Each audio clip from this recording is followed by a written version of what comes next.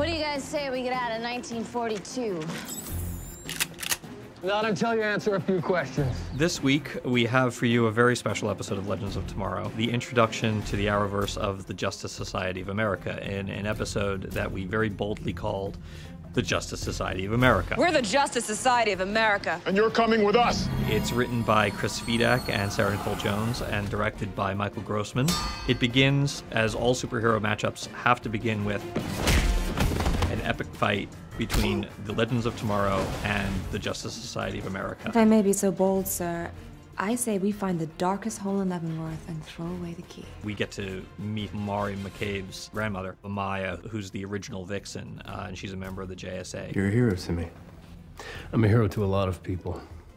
That's the job. We also get to learn a bit more about Nick Zano's character, Nate Heywood, also in episode two. You're late, Hathorn. You'll find that I have an entirely different concept of time than most. We've got Eobard Thawne, Matt Letscher coming over from Flash. Is on. And we've got Victor Garber singing Edelweiss to a room full of Nazis. The hills are alive with the sound of music.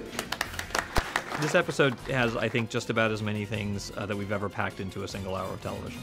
Heil Hitler!